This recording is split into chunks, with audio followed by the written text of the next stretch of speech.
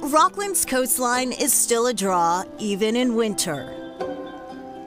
The breakwater, which is the mile long, what's my favorite walk out to the lighthouse in the middle of the harbor. On Rockland Harbor, it's actually fun to watch the traffic, but the best views are found at Owl's Head Lighthouse. It's where we meet Brian Benedict. We're at the top of Owl's Head Lighthouse now. Gives you a great vista of the islands offshore, but also gives you a vista of the island of Vinalhaven.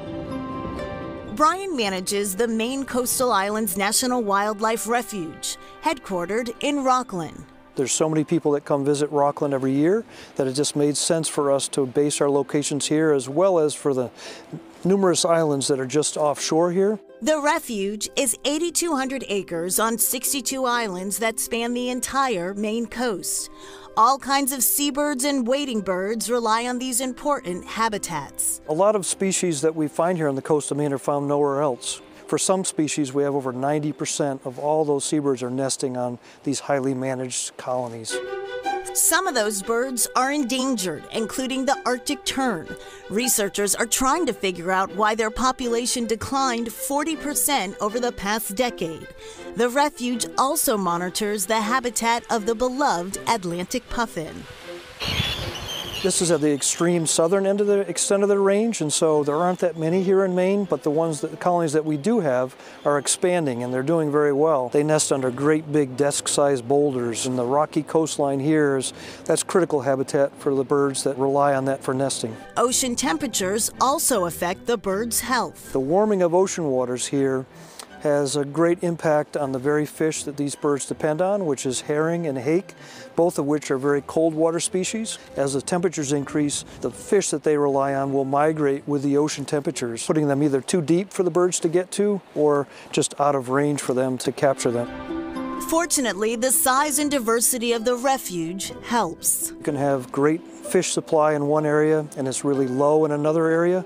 So this gives us choices for what they want to eat, but also stepping stones as part of migration. All of those issues get attention at this visitor center, which features rotating art displays about environmental preservation. I truly believe that I have the best job in the world. There's never a day that I don't want to come to work. Personally, I love the process of careful noticing, close observation, and being able to share that with other people. The tagline of my business is conservation through appreciation.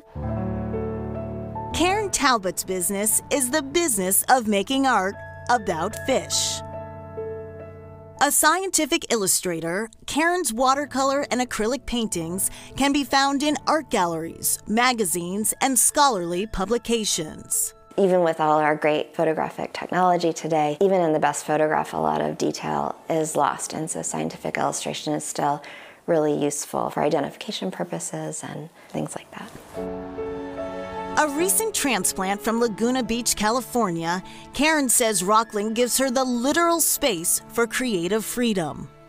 My husband and I thought at one point we could live anywhere in the country. Um, we, we made this list. We wanted to, you know, buy a house. We wanted to have some land. We were hoping for a place with a, you know, where we could have a home gallery and studio.